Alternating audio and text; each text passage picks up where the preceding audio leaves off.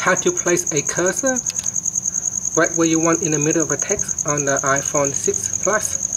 So let's say um, in a Safari web browser, if you put in the wrong web address, sometimes you might want to place the cursor right in the middle uh, to fix that uh, one single character. But you can see that it's not easy to place the cursor right in the middle. So in order to move the cursor where you want it, exactly where you want it, simply tap and hold.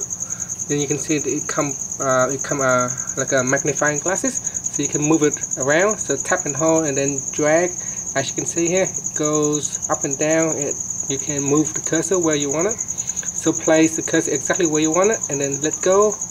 And then from there you can use the keyboard to uh, fix up your mistakes.